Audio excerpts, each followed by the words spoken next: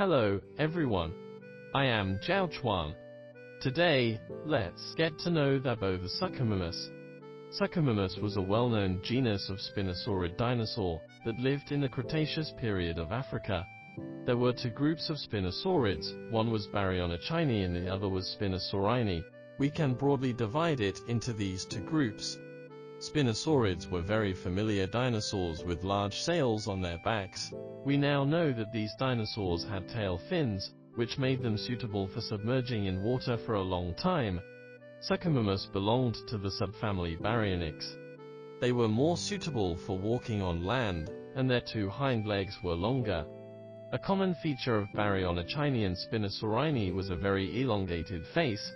Suchomimus had the longest face of all dinosaurs, and it had a very elongated face, even among spinosaurids. Spinosaurids had a relatively slender face, especially its long snout. However, the face of Suchomimus appeared narrower and longer. First, let's take a look at its head. Suchomimus was famous because when its face was discovered, it was found to have a surprisingly long snout. It looked a bit like a Malayan gharial or the gharial, so the researcher at the time, Mr. Paul Sereno, gave it this name, saying that Suchomimus looked like crocodiles. In fact, its face was even more exaggerated than that of a crocodile. Viewed from the side, it had a mouth full of teeth like a crocodile, and viewed from the front, its face was very narrow, very flattened from left and right, a bit like some birds. Comparatively, it was a bit like animals such as cranes. Its mouth was full of teeth. Looking closely at these teeth, we can find that there were longitudinal grooves on the surface like those of spinosaurids. However, unlike spinosaurids, whose teeth were known to be very straight and conical, Suchomimus' teeth were curved like most carnivorous dinosaurs. Looking more closely at its teeth, we can see that they were curved. The teeth on the upper jaw were turned outwards, a bit like the teeth of Pterosauria, and its teeth were turned to the sides. Like most spinosaurids, it had a relatively primitive structure, a notch, in front of its mouth. There was a corresponding protrusion on the front of the lower jaw, and the protrusion of the lower jaw was covered with sharp teeth. When its mouth was closed, this tooth fit into the pit in the upper jaw. This structure helps Suchomimus prey on fish. Although similar to many spinosaurids, the nostrils of Suchomimus were not as far back as in most spinosaurids. We know that the nostrils of spinosaurids were generally relatively backward, but the nostrils of Suchomimus were closer to the front of the mouth, indicating that it might not be aquatic, and it didn't stay in water for a long time. If its nostrils were backward and upward, it was easy for it to stick its nostrils out of the water when it raised its head to breathe.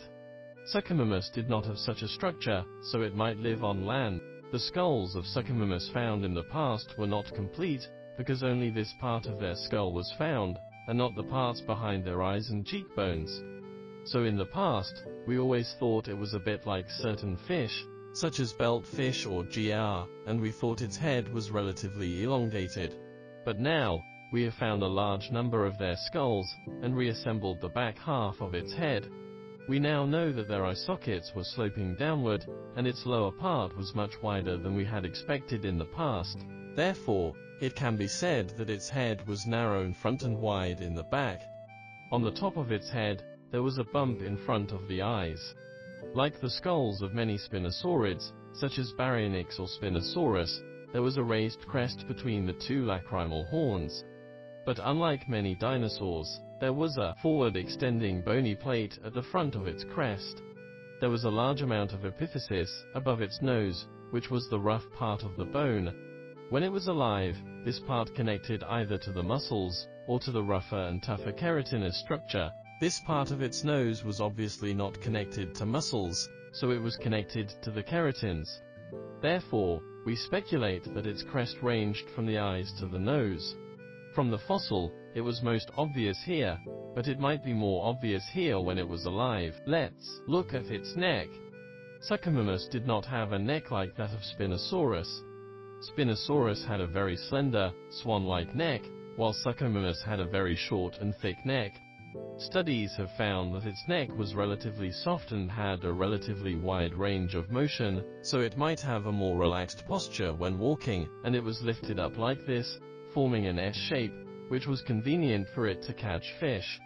It might pull its head back, standing in the water and looking down. Then let's look at its body.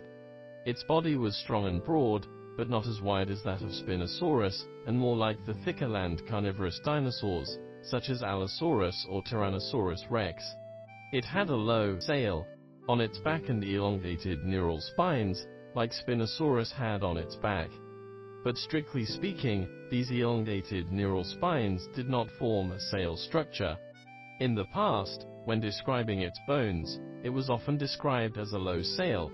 From this position, we can clearly see that it was triangular, the pelvis was the highest point, and it gradually became shorter when it went down to the sides.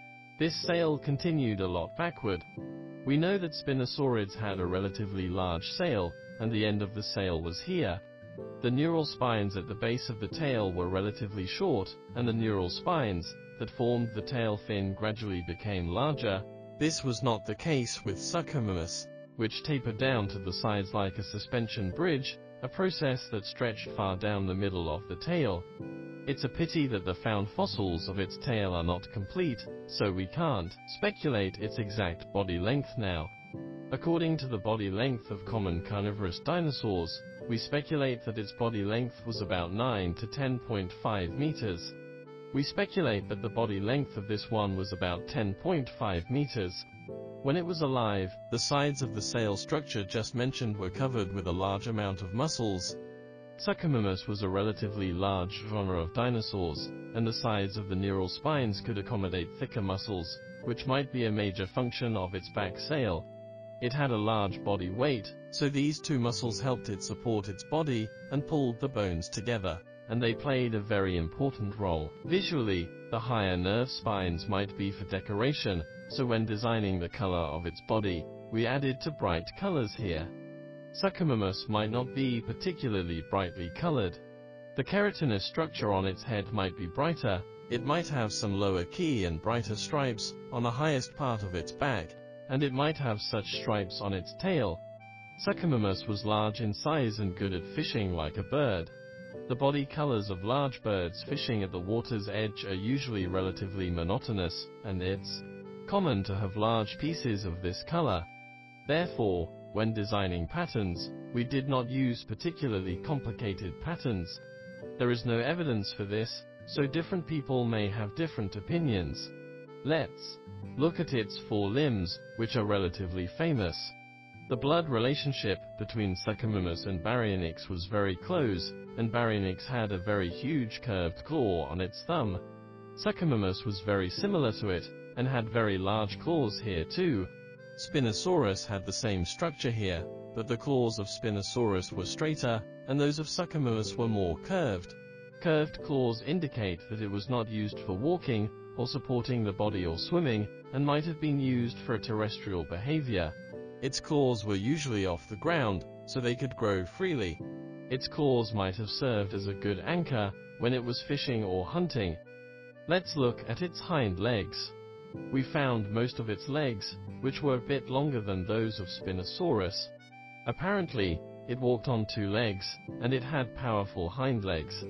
But we didn't find its feet, so based on the known Spinosaurus feet, we restored its feet, and its feet were completely different from those of Spinosaurus. It only had similar proportion with Spinosaurus, but the shape of its feet was more like that of a carnivore that walked on land. It had a reduced first toe. It did not step on the ground with four toes like Spinosaurus did. It did not have flat feet like Spinosaurus did. And it did not have flippers with toes. We made its feet look like those of a normal carnivorous dinosaur. Finally, let's look at its tail.